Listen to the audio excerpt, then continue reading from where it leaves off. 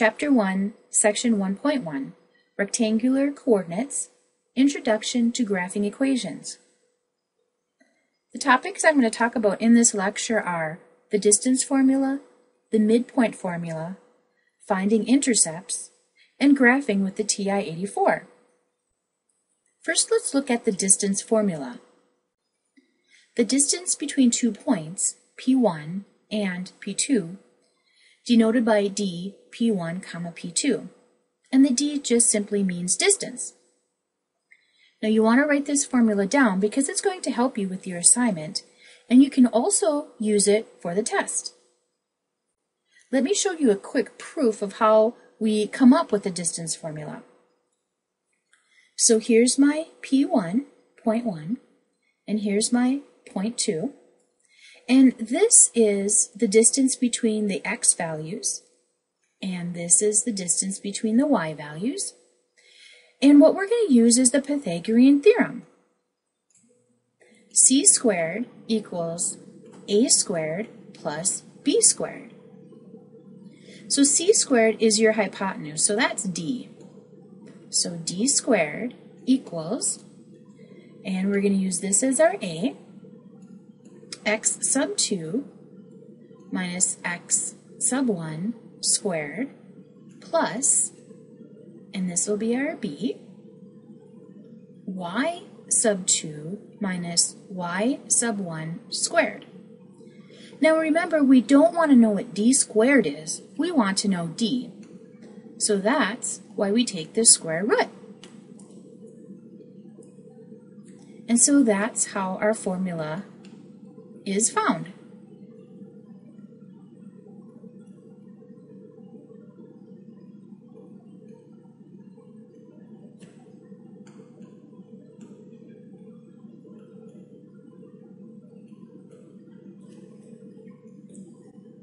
Let's look at an example. Find the distance d between the points 2, 5 and 4, 8. So here's my distance formula waiting there for us.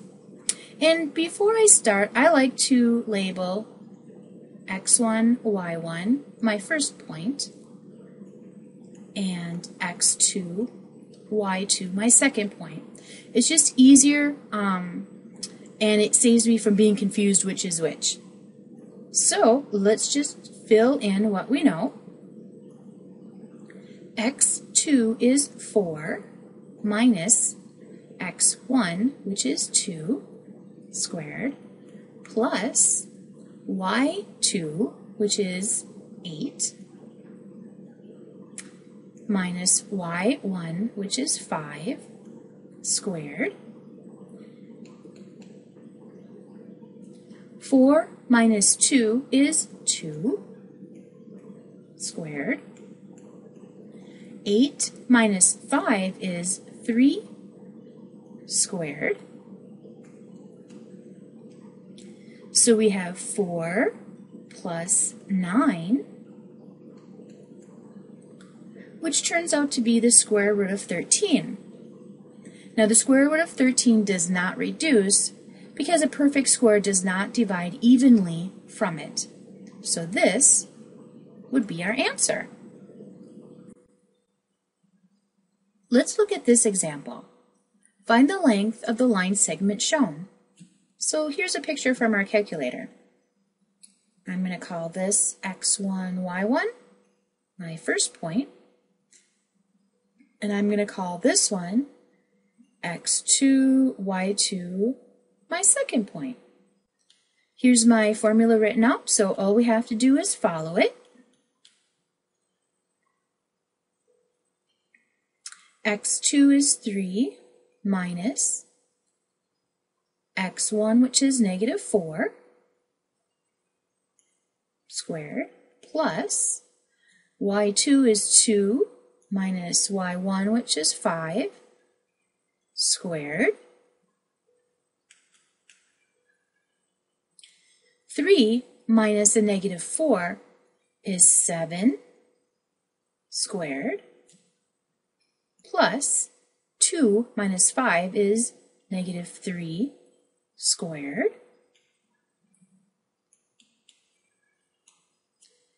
7 squared is 49, plus negative 3 squared is 9. So we have the distance of 58. And there isn't a perfect square that divides evenly into 58, so this turns out to be my distance.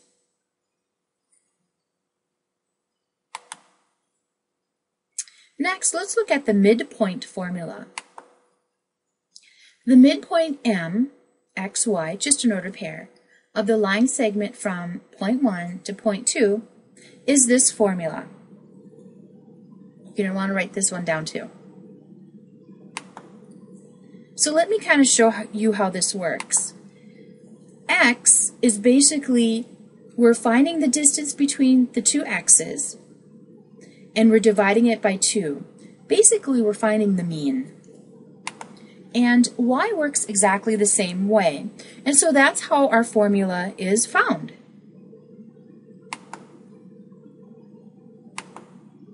Find the midpoint of a line segment from P1 to P2. So here's my formula. Hope you, hopefully you've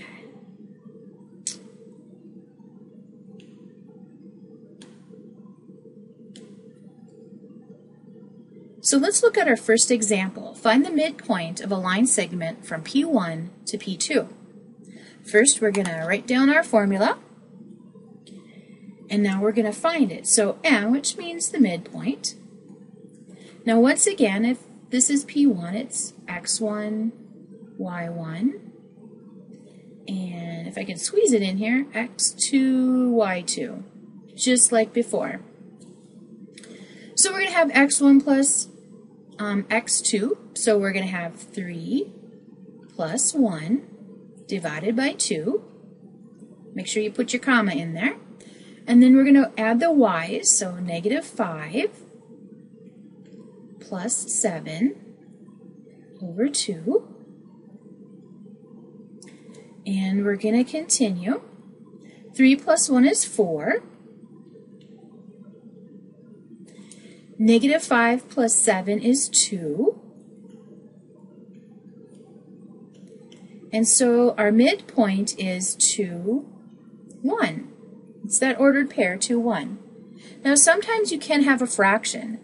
And remember, if this ends up being a fraction, you always want it in lowest or simplest terms. Now let's talk about the y-intercept and the x-intercept for a minute, just as a review.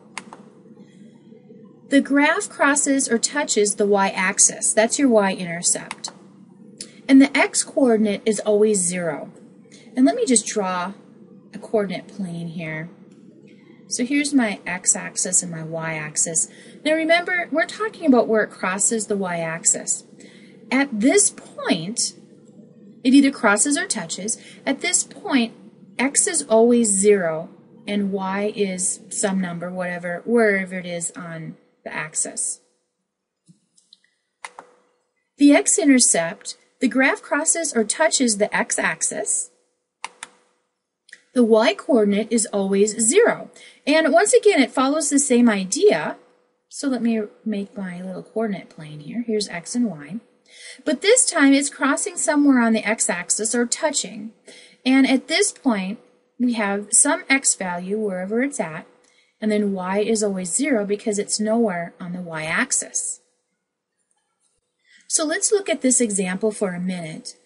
Um, this is an x-intercept, x-intercept, x-intercept. Because remember, it can touch or actually go through. Here's a y-intercept. Another y-intercept we could have is something that looks like this. Where it just touches right here. Let's look at this example. Find the intercepts of the graph. So, I'm going to find the x-intercepts, and those are very easy to find because you just look at your x-axis. Here's one, negative 3, 0. Here's the next one, 3 halves, 0. And here's the next one, 4.50. The y intercept is exactly the same. You just look at your y-axis and wherever it touches or goes through is your y-intercept. I'm going to talk a little bit now about the calculator. I know a lot of you are very familiar with the TI-84, but for those of you who haven't used it for a while, I just want to refresh your memory. If you've never used the TI-84, this is the best and perfect time to start learning. We've been talking about graphing, and when we look at the TI-84 or 83 calculator, and we look at the graphing part, you're going to see something that looks like this, and I'm going to show you on an actual calculator in just a minute. But what does all of this mean? Well, xmin means the smallest value of x shown on the viewing window. So if this is my viewing window, the xmin is actually negative 2, 1, 2. The x max is 1, 2, 3, 4. The y max is the same idea. So the y max is the largest value of y shown on the viewing window. So the y max here is 1, 2, and the y minimum is 1, 2. Y scaling and X scaling um, are the number of units per tick mark on the axis.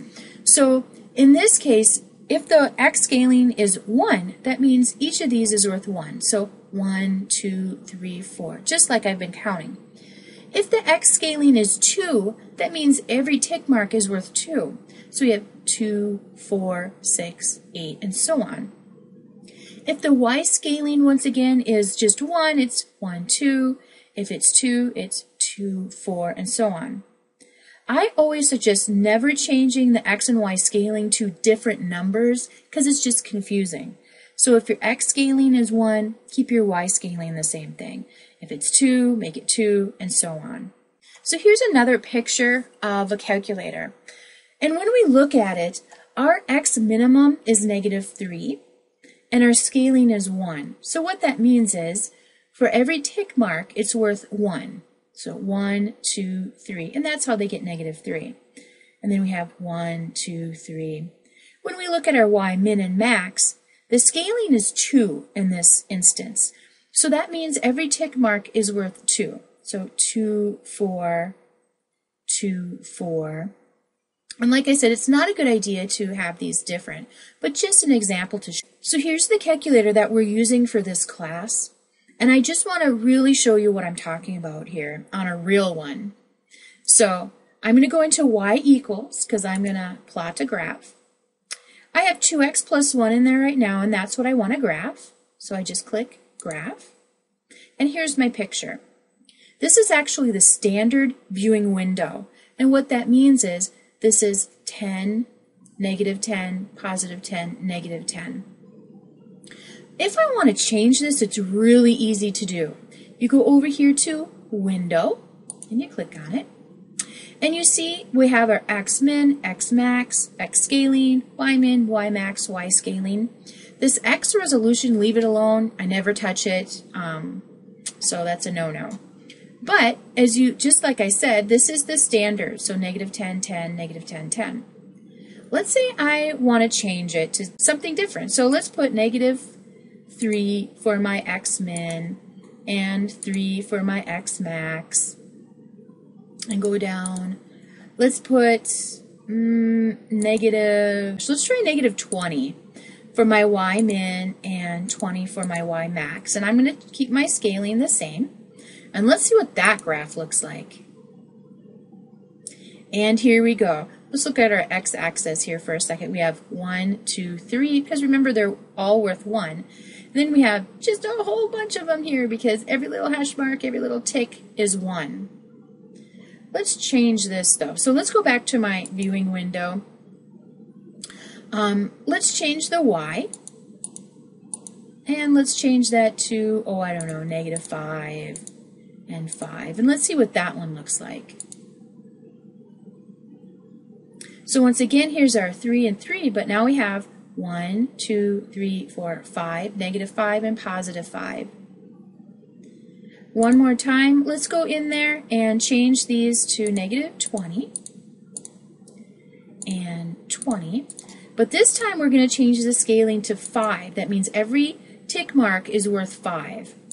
And we're going to change this to negative 20, 20, and 5. And let's graph that. So now we have 1, 2, 3, 4, but it's not 4 because remember every one of these is worth 5. So it's actually 5, 10, 15, 20. 5, 10, 15, 20. And so that's how you can change the viewing window and get a better idea of what you're graphing. And it also helps you to find your x and y intercepts. Find the coordinates of the point shown. Assume the coordinates are integers. We also need to assume that every hash mark is worth 1. And we know that because we have a negative 3 here. So that means negative 1, negative 2, negative 3 negative 1, or positive 1, sorry, positive 2, positive 3. But if this one's a 4, this has to be 2, 4. And if this is negative 4, it has to be negative 2, negative 4. So this ordered pair, the x-coordinate will be negative 1, negative 2, and the y-coordinate will be positive 2. So now what I want you to do is I want you to do your 1.1 homework. Make sure you look at the calendar that's in um, lab just to make sure you're keeping up. Homework completed after the due date will be deducted 10%. So make sure you get all of your homework done.